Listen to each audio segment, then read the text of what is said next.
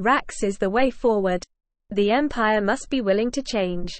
We must be willing to do anything to show the galaxy what it is to defy us.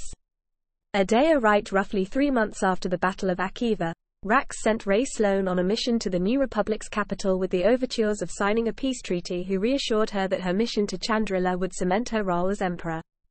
The signing coincided with the New Republic's celebration of Liberation Day, a holiday celebrating the release of captives from the imperial prison Ashmead's Lock on Kashyyyk, with many of the captives having been held in suspended animation since the days of the early rebellion. In reality, the survivors were a part of an elaborate assassination scheme by Rax, executed by his lackey, Wyndham Traducia, an undercover imperial operative posing as a Senate guard, by utilizing inhibitor chips that had been installed within the survivors' brains.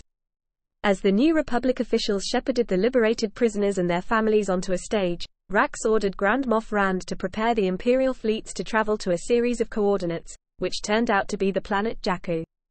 Rax also convened a meeting of the Shadow Council.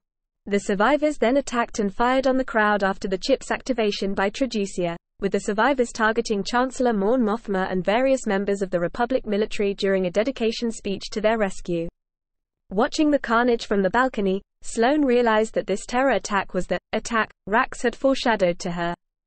Already disagreeing on Rax's methods for administering the Empire, Rae announced her intention to confront Rax aboard the Ravager to her aide, Adea Rite, a secret supporter of Rax. As a result, Rite attempted to assassinate Sloane, but she managed to escape off-world. Traducia then freed Tashu from the Republic and told him that he still served the late Emperor Sheev Palpatine even after Rax had given himself the title of Emperor. The attacks demoralized the New Republic but failed to turn the tide of the war against the Empire, which lost Kashyyyk following an uprising led by Han Solo and Chewbacca.